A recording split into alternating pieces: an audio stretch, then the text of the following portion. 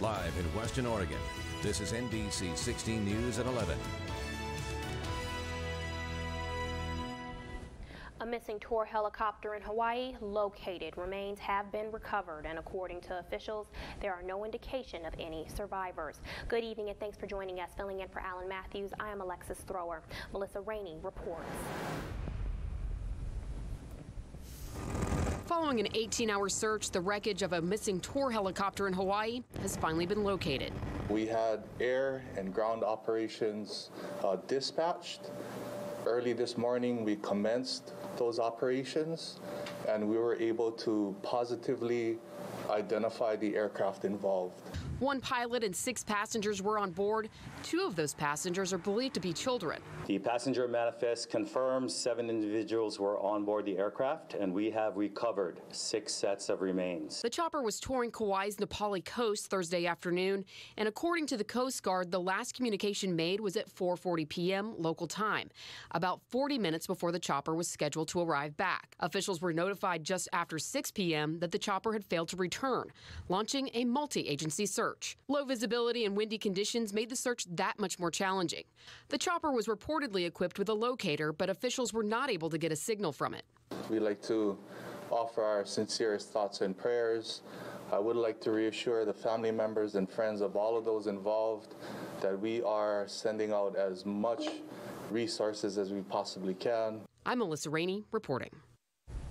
Just two days after Christmas, a California family is mourning the deaths of three family members. A father and his 4 and 12 year old daughters died in an early morning fire.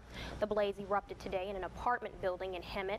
Police say the man went back into the burning building to try to save his children. It's a terrible situation. Uh, it, you know, as, as a father myself, going back in would be something that I think a lot of us would probably think about doing and would end up doing. And unfortunately, it, it didn't work out in this case. Three other family members were in the apartment at the time. An eight-year-old boy was airlifted to a hospital in grave condition. The conditions of the mother and the infant haven't been released. Investigators are trying to figure out what caused the fire. Some terrifying moments for shoppers this afternoon in Colorado when a shooting took place inside a mall. Officials say a shooting took place inside the town center of Aurora around 4 p.m. local time. Shoppers were told to shelter in place for about 20 minutes until police felt the situation was safe. When officers arrived on the scene, they found one victim who was wounded. The victim was taken to the hospital. Their condition is not known. No other injuries have been reported. Officers said no one is in custody for the shooting. However, officers did not did confirm that the incident was not considered an active shooter situation. This is the second shooting that has taken place in that mall in the month of October, excuse me, in the month of December. Authorities continue to search a heavily wooded area for an Oregon woman missing since Monday. Investigators say a neighbor last saw 20-year-old Allison Watterson with her boyfriend Sunday just before noon. They say Allison's boyfriend, Benjamin Garland, was spotted in a neighbor's truck alone the following morning. Garland's family initially reported Allison missing Monday afternoon, saying the two got separated while hiking, but investigators don't believe the two went hiking in the area at all. That means that there is a delay of about 30 hours from the time that we last known Allison was seen by that homeowner on Sunday around noon until Mr. Garland's family reported her as missing on Monday evening. That delay is concerning to us, and we're trying to put together what happened in that intervening time. Garland was arrested Monday evening on unrelated theft charges after authorities found him near a stolen truck. Investigators are asking anyone with information on Allison's disappearance to please call police. On to a first look at weather. NBC 16's Heather Melendez joins us now in the Weather Center. What can we expect this weekend? Well, Alexis, it's going to be a shift in the weather pattern. Right now we're dry, but as 2020 is around the corner, so is the rain. Now let's take a look at those highs today. We did manage to get into the 50s along the coast and upper 40s in the Willamette Valley. And right now temperatures are really cooling down, 41 along the coast, and we're starting to see those 30s along the Willamette Valley. But with those cloud coverage today, we're really hanging on tightly to those warmer conditions, so we're not at below freezing yet. And looking at our satellite radar, we're really seeing those clouds just push on by. Everything's cool, calm, and quiet before that storm arrives. But looking into tomorrow, it is going to be a brisk one. So if you are going to get some coffee for Saturday, definitely reach for that large cup of Joe because it is going to be a dry and brisk day. But we do have another chance of rain. I'll let you know all those details in my full weather forecast. Perfect. Thank you so much, Heather. Police are asking for your help. They're trying to identify a man who stole a trailer from a Roseburg U-Haul parking lot. It happened early yesterday morning. The man was caught on surveillance video hooking up a trailer to his white pickup and driving away. He reportedly dumped the trailer in North Roseburg. Um, pulled in, attempted to take one of our 6 by 12 trailers, and then because he couldn't figure out how to lift it up, uh, switched over to a 4 by 8 one of our smaller trailers, hooked up and left. Roseburg police found the trailer and returned it to U-Haul. They are looking for any information that can help identify the suspect. The capsizing of a boat in Charleston has many talking about the heroic act of a man from the community. NBC 16's Lauren Negretti has a story. This is video Curtis Green took of the Darien Rose. He says it looked like it hit the sandbar, moved away, and started taking on water. The boat with three people on board tumbled under all that weight. Coming, and it just happened too fast. And as soon as the cabin filled with water, and I could see the whites of their eyes, and the water was coming inside, and essentially within moments they would have drowned. The only thing I could think of to do was grab a hammer. Brett, get a hammer! He called to an employee for a hammer and dove in. And so, with all my clothes and my hammer on it, it took forever to get out there because swimming with a hammer. And I finally got to him and I hit it probably 30 times and I just could not get the window to break. The boat shifted and the hammer slid overboard. So now I thought, what am I going to do? Now I don't have a hammer. And so that's when I used my hand to break through. And he pulled the people out one by one. Meanwhile, the Coast Guard got the call. When we came around the corner, we saw four people sitting up on the hull. The survivors with scratches and Green in need of stitches were taken to the hospital. There had been three people on the fishing boat. They were trapped inside the wheelhouse at the time of the capsize and it was full of water, no air pockets. She calls what Green did amazing. They needed help immediately and he was there and he jumped right in. Green says he just acted, something he and the Coast Guard say is a testament to the tight-knitted fishing community. Reporting in Coos County, I'm Lauren Negretti. Cleanup underway after that boat capsized in Charleston. Crews pulled crab pots from the water, signs of wreckage from the capsizing. The boat had an estimated 1,200 gallons of diesel fuel on board. Thankfully, officials say it appears very little has leaked out into the water.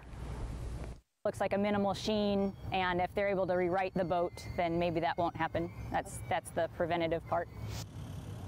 The white booms turned pink from that fuel. The Coast Guard expects the boat to be recovered at low tide tonight. The Oregon Ducks took a break from game prep to take part in a Rose Bowl tradition going back more than a half a century. Brandon Cameron was in Beverly Hills, California for this year's Beef Bowl football and meat, something that seems to go together pretty well. And it's actually a tradition that goes back 64 years, 1956, the first Lawry's Beef Bowl. Since then, it's been the two teams pitted against each other that are playing in the Rose Bowl for who could eat the most salad and, more importantly, who could eat the most prime rib. And Oregon senior linebacker Bryson Young, who was the official salad spinner for the event, said he's been thinking about it for a while. Yeah, I've never been here before. Um, I've heard a lot of great things about it. Um, so I, I mean, my mouth's been watering all day. So. Now, as for getting prepared for Wednesday's game, Bryson did admit to us that he asked Coach Cristobal about how much they could eat, and they said no limit. Just go as far as you can.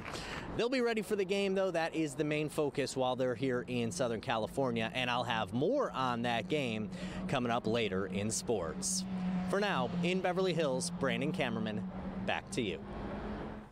Well, speaking of foods, coming up next on NBC 16 News at 11, 2020 is quickly approaching, and it's time to start thinking about those health and fitness resolutions. Plus, the start of the new year also marks some changes for musical streaming service Spotify.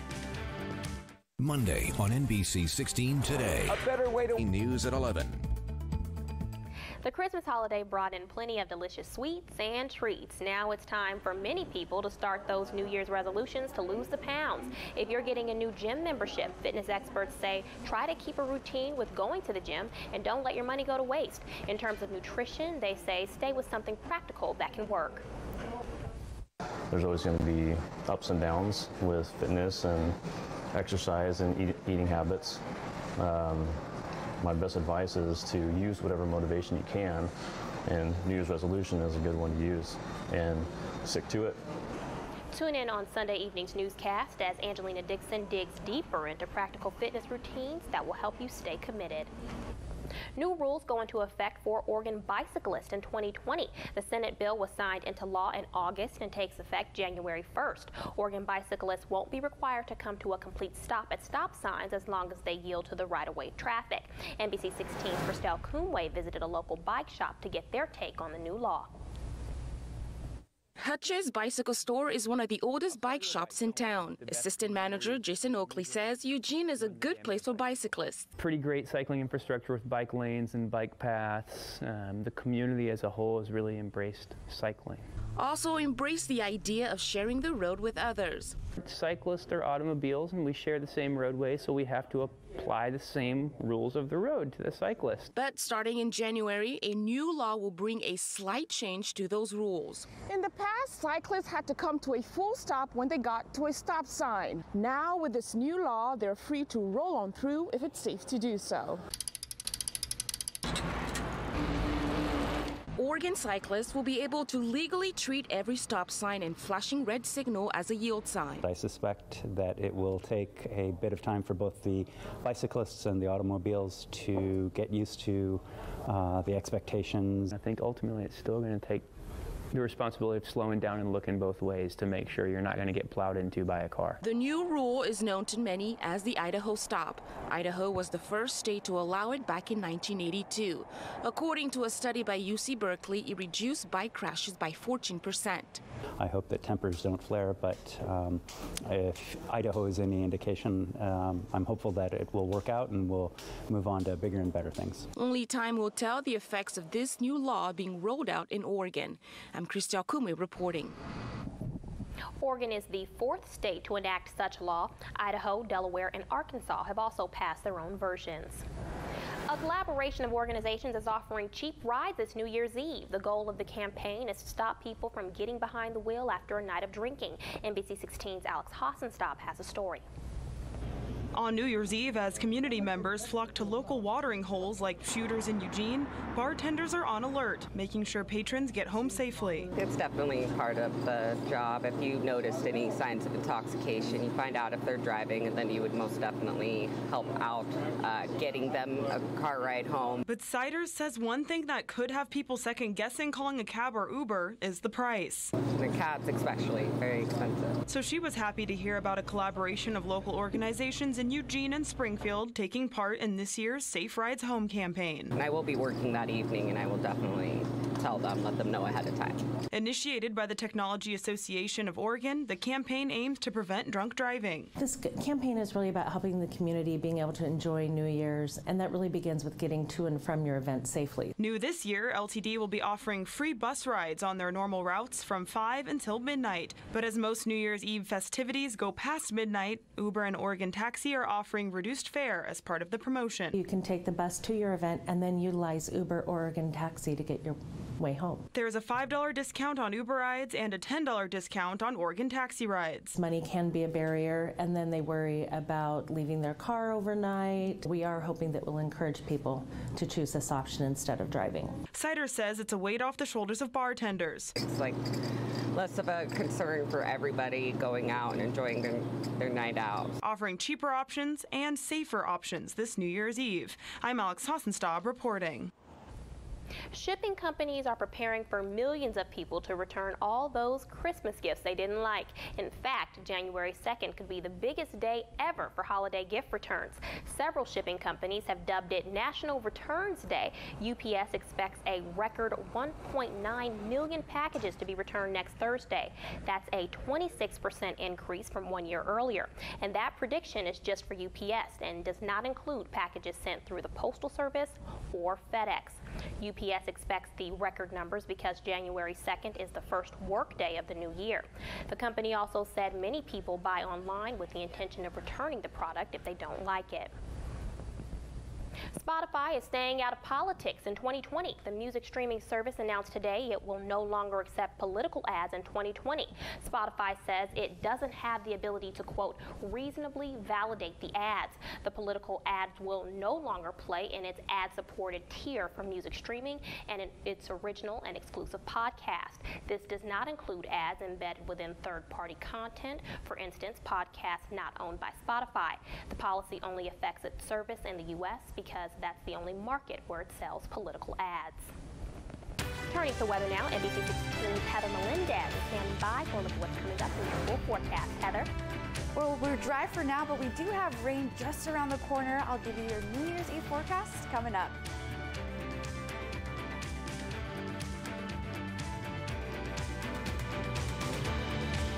Some things just can't last forever. Like Melendez. Well, now that 2019 is coming to a close, so too are dry conditions. Here's a time lapse of Eugene. We really saw some overcast skies today, but that didn't change Mother Nature to really shift the pattern. We did see some sunshine peek through and really warm up those conditions for us here in the Pacific Northwest, and that's going to continue for tomorrow. We will start to see some dry and cloudy conditions for our Saturday, but by the evening time, we will see a slight chance of rain as Sunday will predominantly be a rainy day, and then we'll start to see some more rain for the new year as that heads in. Now, looking at our satellite radar right now, it's the calm before the storm. Conditions are just really quiet and calm for the night and will continue until tomorrow. But for our lows today, we are managing to at least be mid to low 40s, definitely warmer than what we were yesterday. And looking for tomorrow's sidewalk forecast, we will be dry for the most part for tonight into tomorrow. But again, we will start to see some moisture push in. And here's why. Looking at our weather forecast, forecast, our next weather maker is this cold front starting to push in in the late evening. This is Saturday morning. Right now, conditions will be cloudy for the most part for your Saturday morning, but as the evening rolls on by, this cold front really starts to kick in by 8 o'clock. And as the clock moves, that cold front, that low pressure system really starts to move in Northern California, bringing in plentiful rainfall for us Sunday. And then for Monday, we start to get a break with that high pressure system, just really drying out those conditions for all of Western Oregon. Oregon. And looking at our model forecast, we can really see this more precisely. By 8 a.m. on Saturday, we will start to just see some cloud coverage for us in the Western Oregon region. And as the clock moves, we start to see that pressure move in. We start to see some rainfall by 8 o'clock, some light sprinkles, but as the evening time turns into morning, by Sunday, everyone will see widespread rain. Now looking at our future cast moving through for our rain totals for Sunday, we will see at least a quarter of an inch along the Willamette Valley to at least almost half an inch along the coast. So the rain totals aren't as drastic as we were last week, but we still will see plenty of rain into the new year. Now looking at our forecast for Saturday, we will start to see some warmer conditions, 50s along the coast and along the Willamette Valley. For your seven day forecast in Eugene, we will see some cloudy conditions for Saturday last day to get some dry conditions before Sunday. That rain system will move in. And then on Monday and brief break before that New Year's Eve rain. Now, conditions will be moderate. We'll have some mild 40s, mid 40s for you for the week. And for our coastal area, we will start to get some cloud coverage for Saturday. On Sunday, we will see some rain as well. A brief break on Monday, and then by New Year's, we will start to get some rain. And then looking into the Roseburg Umpqua Valley region, you will start to see some plentiful sunshine on Saturday, some rain on Sunday, a brief break on Monday, and then really tons of rain for your tail end of the week. Conditions will be at or above average for you and really just bringing in that rain for that new year. Well, I guess I have Monday to look forward to. Nobody ever really looks forward to Monday. I know. It's a great Monday. It's, it's going to be sunny for everybody. Right. Well, thank you so much, Heather. And coming up next in sports, Oregon has faced some incredible talent throughout the season, but they may face their toughest challenge in the Rose Bowl. Another report from Los Angeles is ahead.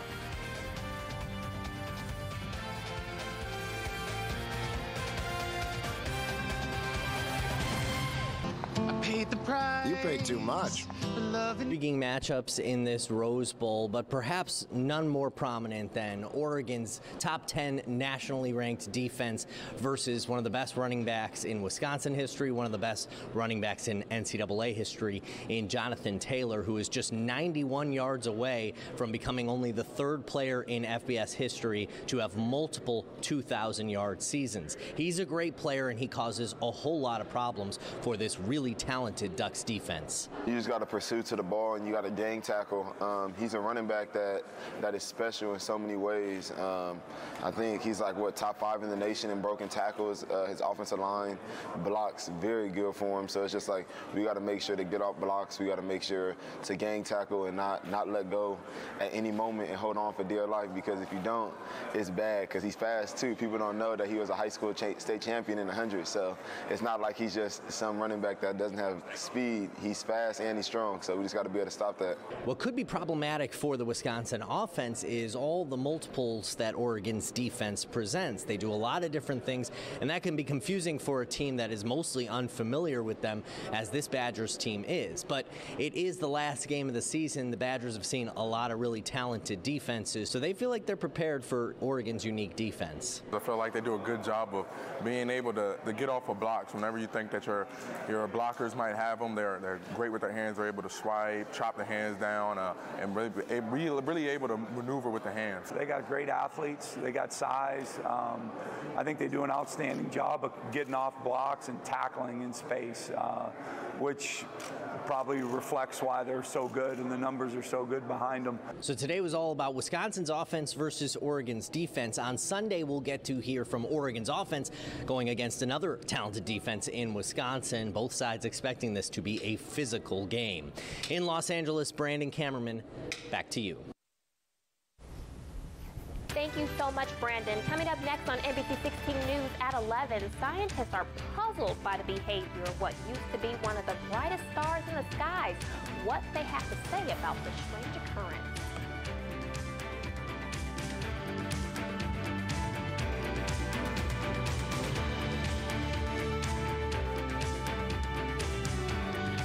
The Ducks have migrated south to Pasadena, and so has NBC. And finally tonight, the red giant star called Betelgeuse has been rapidly dimming since October. It used to be the ninth brightest object you can see from Earth, but it's now more than two times fainter than usual. Scientists believe that could be a prelude to its explosion, turning the star into a so-called supernova. But it's anyone's guess when that will happen. Some scientists believe it could still be more than 200,000 years years away. Whether it happens, it will be a spectacular sight, to see in the sky, but it will not pose any danger to any life on Earth. However, some scientists believe the dimming is just a phase and there is no supernova in the making at all. You know, I have to tell you, Alexis, I follow a ton of science accounts like Do NASA. you? I do. And I was reading that in 5 billion years, we are expected, the sun is expected to at least burn the helium process, start the burning process, and it's going to turn into a giant red star. Well, that sounds fascinating, and we will definitely have to talk more about that. You have to like break it down to me in kindergarten terms because all of that is just like over my head. but speaking of what we can expect in the sky, with one more last look at weather, what can we expect? Absolutely. Well, here in Eugene, we can at least expect one more day of drier conditions with some cloudy skies for us for our Saturday. By the evening time, around 8 o'clock, we will see a chance of showers moving on in because for Sunday, we're going to see tons of rainfall. On Monday, we will get a brief break, but then as the new year comes, we will get some rain. Wonderful. Well, thank you so much, and thank you for watching NBC 16 News at 11. The Tonight Show starring Jimmy Fallon is next.